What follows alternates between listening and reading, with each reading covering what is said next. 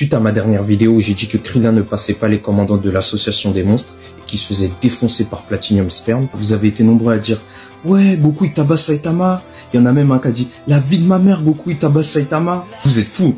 Saitama il prend Goku matin, midi et soir. Déjà la vitesse de la lumière de la lune à la Terre c'est une seconde. Et Saitama il t'a fait le trajet de Jupiter à la Terre en moins d'une seconde.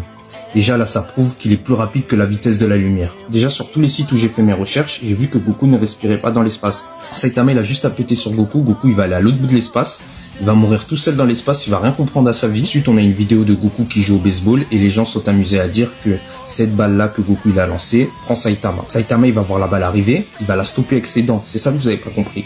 Saitama, il peut tout faire. C'est quelqu'un qui a brisé ses limiteurs. Du moment où tu brises tes limiteurs, il n'y a rien que tu puisses pas faire. Saitama, il a brisé les limites humaines. Toi, tu es limité par tes limiteurs. Tous les humains ont des limiteurs. Il y a des choses qu'on ne peut pas faire, des choses qu'on ne pourra jamais faire. Et Saitama, lui, il a trouvé un moyen de briser ses limites par son entraînement.